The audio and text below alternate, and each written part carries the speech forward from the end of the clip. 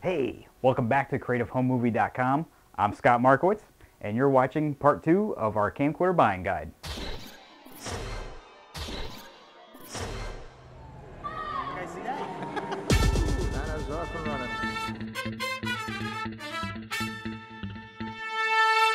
In our first installment of the camcorder buying guide, you learned that there's three basic types of camcorders to choose from. There's the basic, the budget, and the all-out ultra cool camcorder. So at this point, you should realize which kind of camcorder you're shopping for. Uh, basic? No. Ultra cool. Yeah. But what's the next thing you should know? Well, friends, I'll tell you. You're going to need to decide if you need standard def or if you want high def. To really choose wisely, you need to know the difference between the two. To explain this, I'll need to show you how your camcorder acquires an image. A camcorder works kind of like a paper shredder, except in reverse. Your paper shredder takes a full sheet of paper and it turns it into little shreds of paper. Your camcorder takes little pieces of light and stitches them all together to make a big image. Have I lost you yet? Just stick with me, okay? Just stick with me. We're going to get through this. A camcorder uses a lens to focus light onto an electronic plate. The plate has tiny light-sensitive zones that in turn translate the color and intensity of light into a video signal.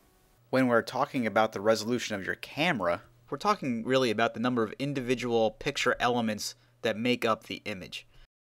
It's like when you're looking at a newspaper. If you go real close, you can see that they're made up of just small half-tone dots. But when you're far away, it looks like a real photograph. A video image is comprised of little dots of light instead of little dots of ink. And these little dots of light are called pixels. The resolution of your camcorder is the number of pixels tall it records times the number of pixels high it records. Camcorders typically record in one of three resolution sizes. Standard definition cameras shoot an image that's 720 pixels across by 480 pixels tall. High definition cameras shoot in one of two sizes 1280 by 720 or 1920 pixels by 1080 pixels. So now that you understand the difference between standard def and high def, which one should you choose? Well, if you don't have a high def TV, you probably don't need a high def camcorder. If you do have a high def TV and you want to watch your home movies on that TV, then by all means get a high def camcorder.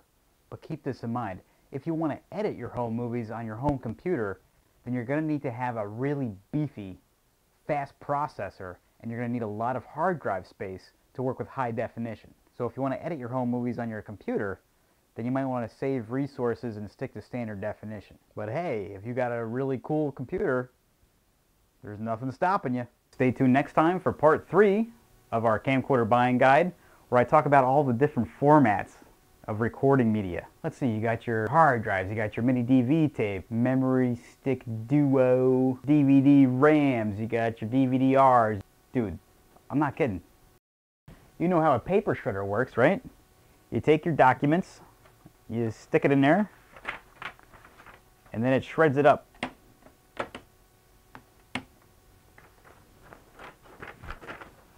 Are you kidding me?